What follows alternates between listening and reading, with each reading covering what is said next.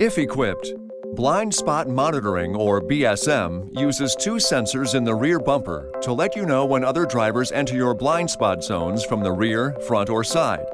When you start the engine, the BSM warning light will shine in both outside mirrors to confirm activation. The BSM detection zone covers about one lane on either side of you. The zone starts at each outside mirror and extends back toward the rear.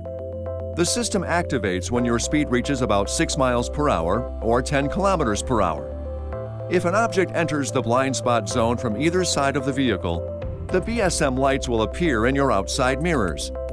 A warning will also be issued if a driver comes up from behind and enters the rear detection zone with a relative speed of less than 30 miles per hour or 48 kilometers per hour or if you use your turn signal in a direction the system senses another driver in the detection zone. If the difference in speed between you and the other driver is greater than 10 miles per hour or 16 kilometers per hour, a warning will not be issued.